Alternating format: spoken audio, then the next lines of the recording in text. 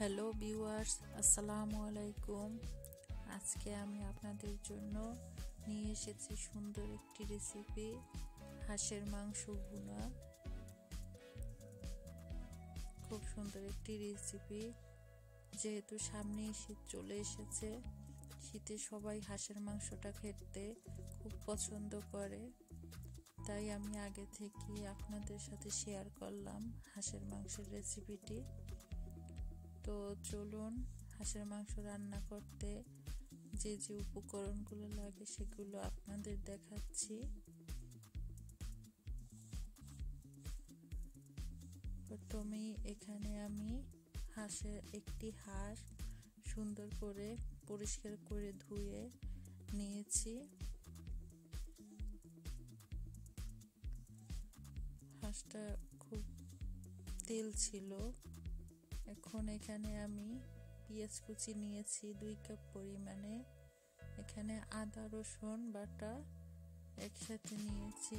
এখানে নিয়েছি টমেটো কুচি এক কাপ পরিমাণে। এখানে নিয়েছি হলুদ গুঁড়ো, মরিচ গুঁড়ো, জিরে গুঁড়ো, ধনিয়া গুঁড়ো। এখানে নিয়েছি দারুচিনি, এলাচ, তেজপাতা, লবঙ্গ, গরম মশলা। এখানে নিয়েছি নারিকেলের দুধ। হাঁসের মাংসে নারিকেলের দুধ দিলে খুব ভালো লাগে। এখানে নিয়েছি কিছু কাঁচামরিচ।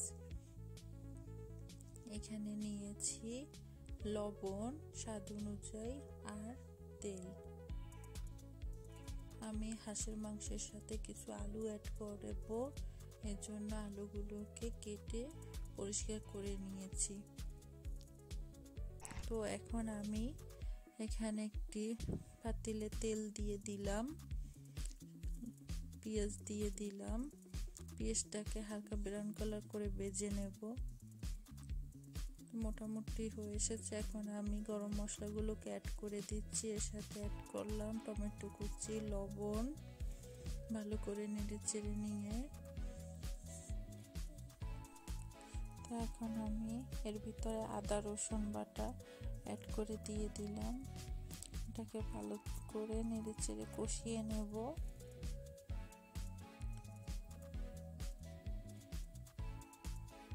দেখতে পাচ্ছেন, মোটামুটি টমেটো হয়ে এসেছে পেঁয়াজটা।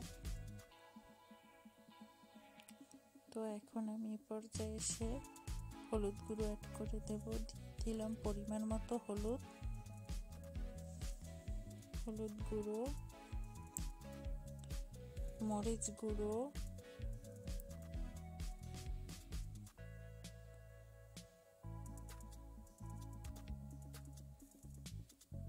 দিয়ে দিলাম জিরে গুঁড়ো।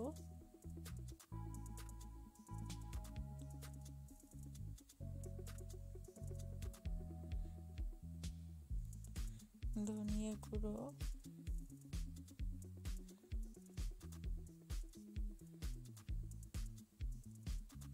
এগুলোকে এখন আমি নেড়ে চেড়ে কষিয়ে নেব।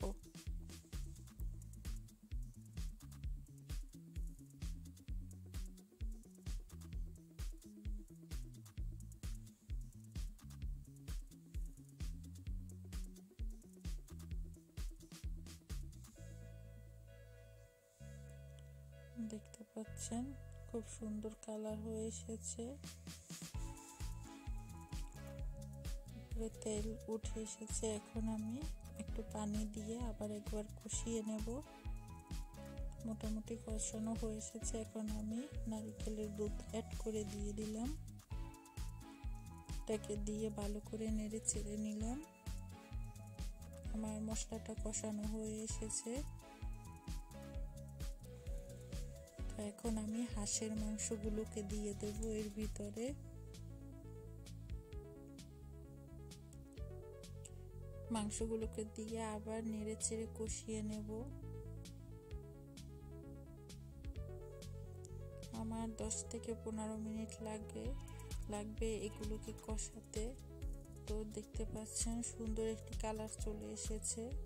মাংস থেকে উপরে তেল উঠে এসেছে।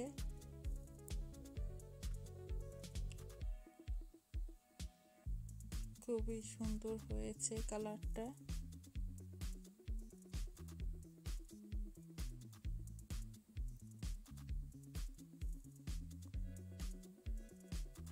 তো এখন আমি এর ভিতরে আলুগুলো অ্যাড করে দেব।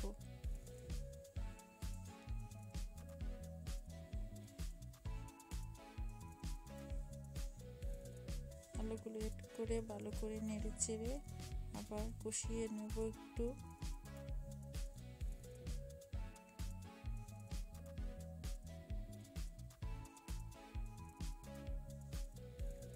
এখন আমি পানি দিয়ে দিলাম। এর ভিতরে দিয়ে দেব কিছু কাঁচামরিচ কুচি অ্যাড করে দিয়ে দিলাম। এগুলোকে দিয়ে ভালো করে নেড়ে চেড়ে সিদ্ধ পর্যন্ত অপেক্ষা করব। তো দেখতে পাচ্ছেন, মোটামুটি সিদ্ধ হয়ে গেছে। এখন আমি গরম মশলা অ্যাড করে দেব। দিয়ে দিলাম জিরে ভাজা জিরের গুঁড়ি।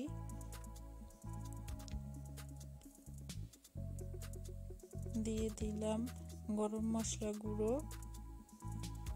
এগুলোকে আমি আগে থেকেই শিল্পাটা বেটে রেখেছিলাম। তো এখন আমি অ্যাড করে দিয়ে দিলাম। আবার একটু নেড়ে চেড়ে এখন আমি এগুলো পরিবেশনের জন্য চলে গেলাম।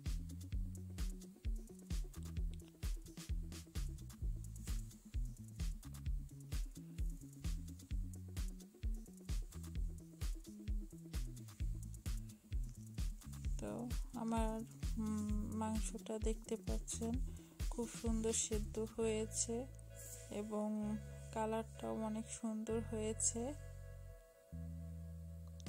তো ভিউয়ার্স আমার এই ভিডিওটি যদি আপনাদের কাছে ভালো লেগে থাকে, তাহলে আমাকে সাপোর্ট করবেন এবং লাইক কমেন্ট শেয়ার করবেন। আর যারা আমার চ্যানেলটিকে সাবস্ক্রাইব করেছেন, তাদের সকলকে অসংখ্য ধন্যবাদ। আর যারা যারা এখনও করেননি, তারা প্লিজ প্লিজ আমার চ্যানেলটিকে সাবস্ক্রাইব করে আমার পাশে থাকবেন। এতক্ষণ সাথে থাকার জন্য ধন্যবাদ সবাইকে। আল্লাহ হাফেজ।